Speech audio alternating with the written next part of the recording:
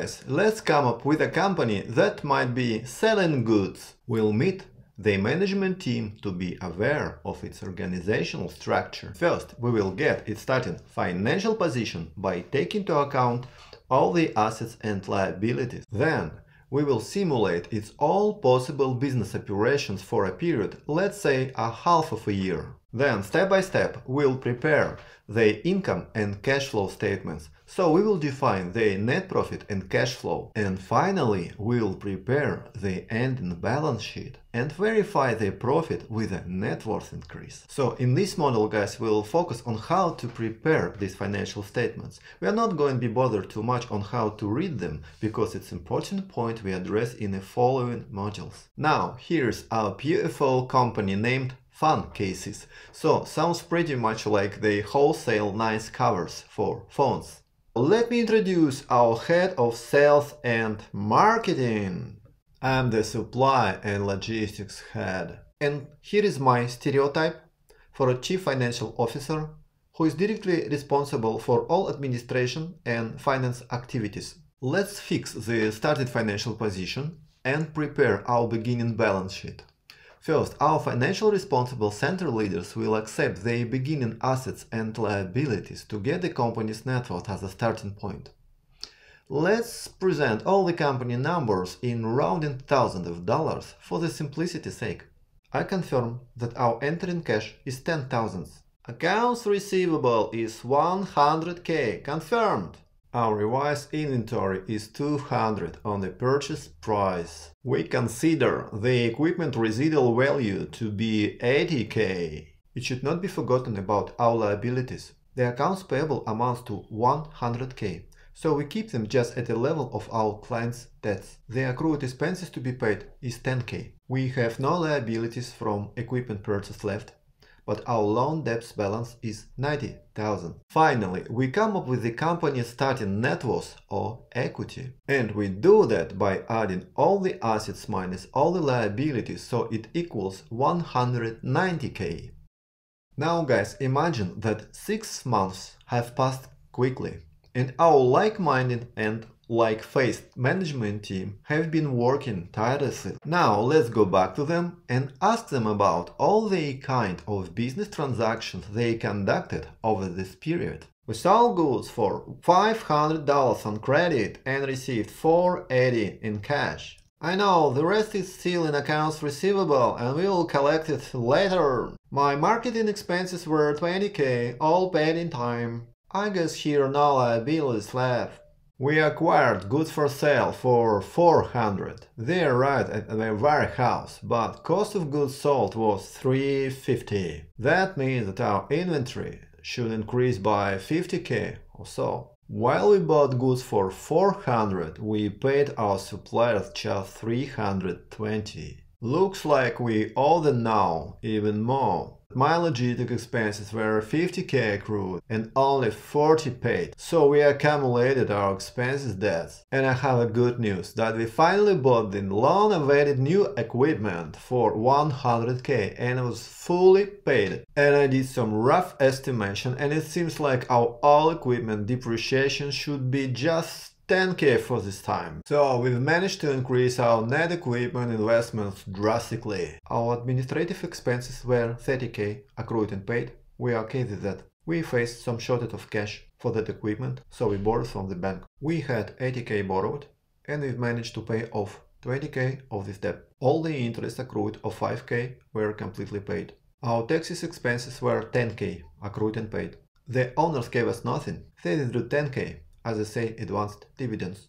Now guys, you can see all this bunch of activities that this company was involved in. It is so important for every top management not to get lost in this mess, but to sort it out into financial statements so all investors and management can clearly see how the profit and cash flow funnel works. Now let's move a little bit all these operations and focus on the income and cash flow statements for this period. We are going to prepare this income and cash item by item in parallel, so you can feel the main differences between these two statements. First, in the income statement revenue, we reflect the sales on accrual basis, so invoice-based sales of 500 goes directly to the income statement. The cash received from clients of 480k goes directly to the cash flow statement. To get a gross profit in the income statement, we have 350 as cost of goods sold, but not all goods we bought and haven't sold it yet. 320 in cash paid to suppliers goes directly to the cash flow statement. So the cost of goods sold subtracted from sales give us 150k as a gross profit.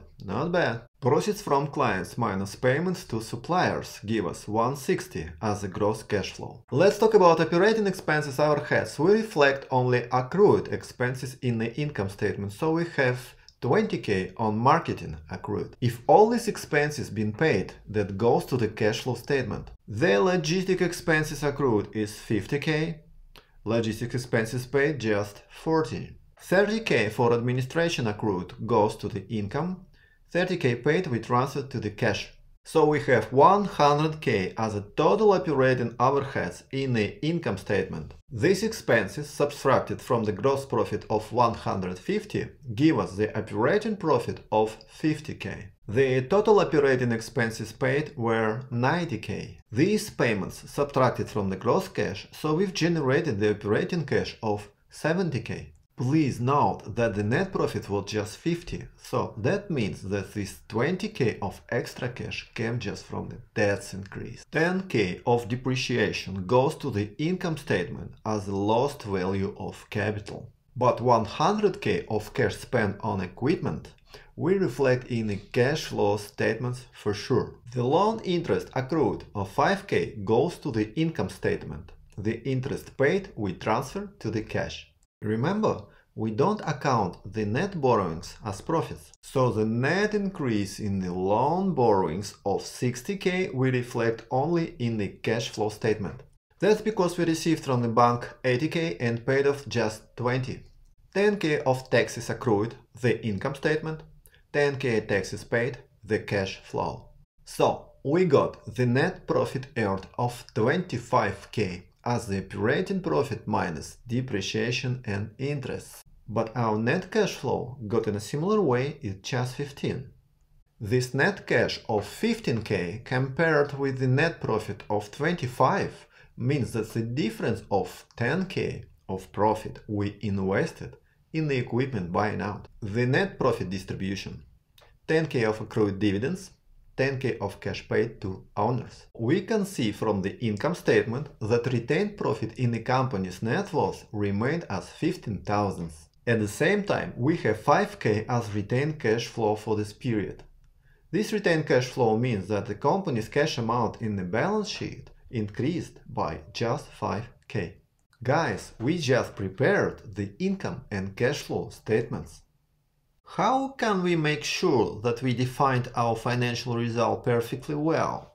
Nice question, and it brings us directly to the final management balance sheet. At first, let's transfer all the data from the beginning balance sheet we came up with our team. Remember guys, we had the net worth of 190k as a starting point.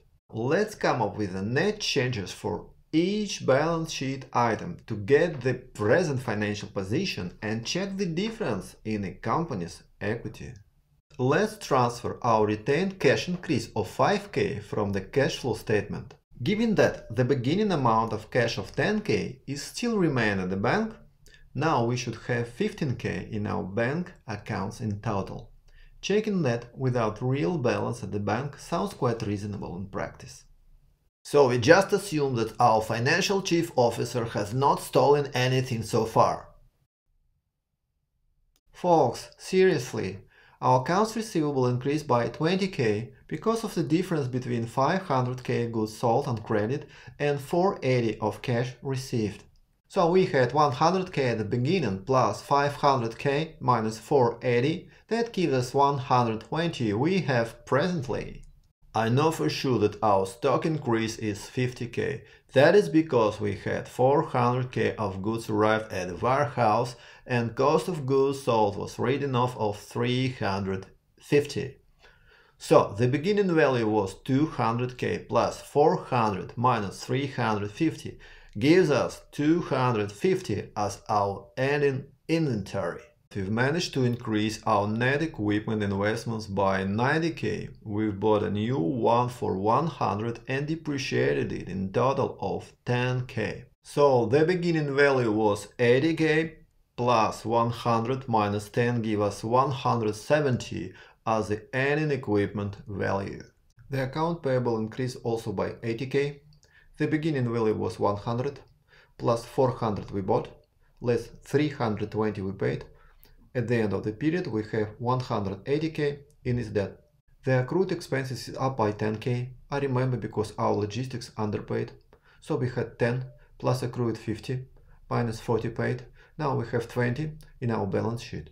The new equipment was fully paid. We increased the net loan by 60k.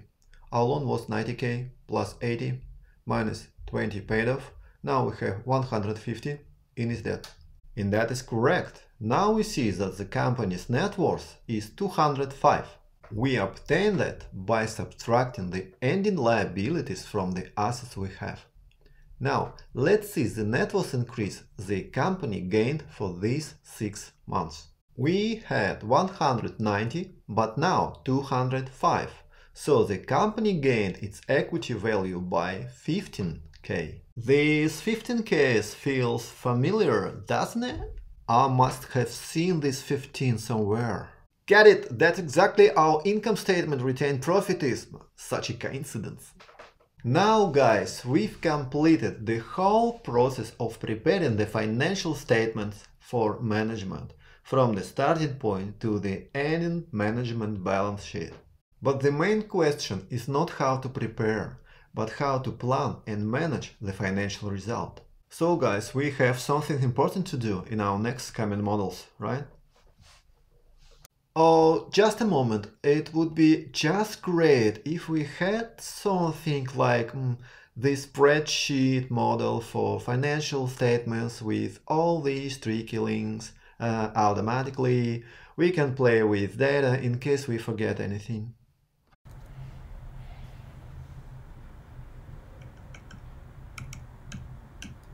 Nice one. If it sounds reasonable for you guys, I mean to have the Google Sheet financial model for this case, where you can play with numbers to consolidate your knowledge about these statements. In this video description, please find the link and fill out the form and I will send it to you as quickly as I receive it. Thank you guys so so much for learning with me and please let me know in case if it was interesting and useful for you. See you. Thank you.